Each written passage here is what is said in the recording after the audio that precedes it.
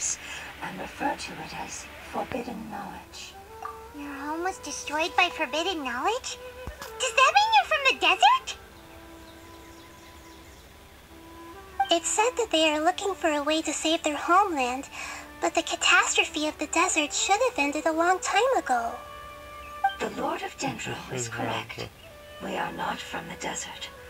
I would very much like to tell you the location of my homeland, but unfortunately, I've forgotten.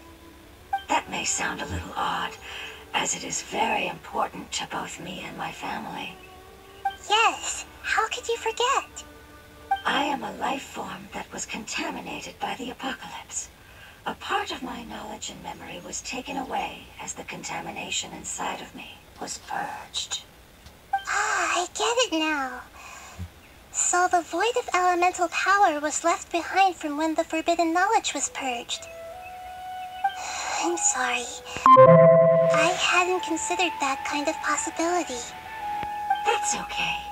Lord of Dendro, there is no need to apologize.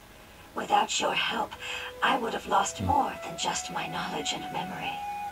And not only did you save me, but you've also already rid the world of the remaining forbidden knowledge, right? That's right. The forbidden knowledge is no more, and your homeland should be safe now. My home should be safe now. We can go home. For the longest time, this moment has only seemed like a dream. I never knew it would become a reality so quickly.